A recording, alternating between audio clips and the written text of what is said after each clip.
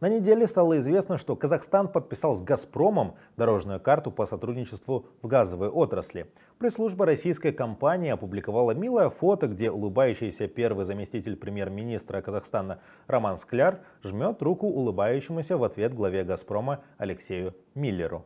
В конце прошлого года стало известно, что Россия обсуждает с Казахстаном и Узбекистаном создание газового союза как для поставок газа между странами, так и для экспорта, в том числе Китай. Об этом заявил вице-премьер РФ Александр Новак. Он подчеркнул, что три государства советских времен имеют фактически единую газотранспортную систему.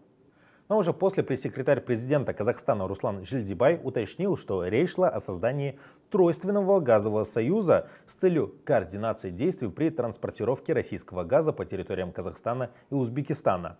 И теперь, по всей видимости, скелет все-таки обрастает мясом. Но так все-таки быть газовому союзу или нет? Газета «Узбекистан» приоткрыла завесу переговоров. Вопрос обсуждался России в формате двусторонних встреч с Казахстаном и Узбекистаном. В первом варианте предполагалось, что российский газ будет поставляться через Казахстан по трубопроводу Центральная Азия-Центр в Узбекистан. Но, видимо, потом что-то пошло не так. Российская сторона попросила передать «Газпрому» а, управление газовыми системами Казахстана и Узбекистана по рыночной стоимости. И по информации узбекских СМИ, казахстанская компания «Казахгаз» отвергла эти предложения. Помимо этого, Россия предложила Узбекистану уступить права на экспорт газа в Китай – то есть «Газпром» захотел стать стороной соглашения вместо узбекской компании «Узгаз Трейд». В итоге в ходе длительных переговоров Узбекистан также отклонил оба условия, предложенных Россией. И, как пишут СМИ Узбекистана, многие эксперты в стране сомневаются, что газовый союз будет создан.